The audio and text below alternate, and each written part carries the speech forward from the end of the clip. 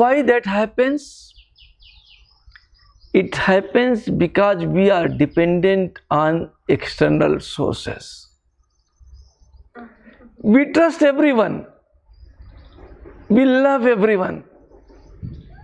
We do every good thing with everyone, but never with our own self. Least we trust is us. But how does external people finds out the problem? They ask you the questions. That's correct. And then it's not them. Whatever you say, based on that, they try to find out the problems. Of course, in modern days, you have got the method of testing also. But basic problem is being told by you. But the problem is here that when it comes to self healing, you do not ask yourself. Then how will you come to know?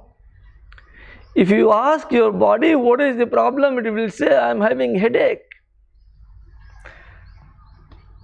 Okay. Then you can find the solutions. We never ask ourselves. We immediately go to a doctor, a healer, and then healer asks.